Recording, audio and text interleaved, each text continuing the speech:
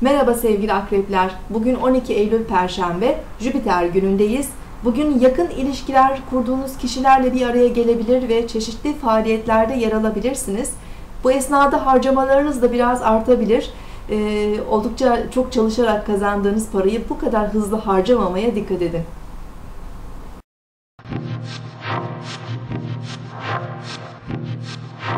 Burcunuzu dinlediniz. Bugün 12 Eylül Perşembe, Jüpiter günündeyiz. Yay burcunda ilerleyen ay günün ilk saatlerinde Mars ve ardından Uranüs'le üçgen açı yapacağı için güne çok enerjik ve pozitif duygularla başlayabiliriz. Kendimizi daha rahat, özgür, neşeli, iyimser hissedebileceğimiz bir gün olacaktır.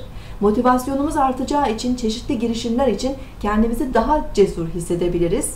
Fiziksel aktivite gerektiren uğraşlar ve spor için de uygun bir gündeyiz. Bunun yanı sıra kısa veya uzun seyahatler yapabilir, e, sürpriz karşılaşmalar yaşayabilir, uzaklardaki tanıdıklarımız ve arkadaşlarımızdan çeşitli haberler alabiliriz. Eğitim, hukuksal konular, medya ve yayıncılıkla ilgili işler için de bugün çok verimli olabilir. Genel olarak hızlı, hareketli ve yüksek tempolu bir gün geçirmemiz e, söz konusu.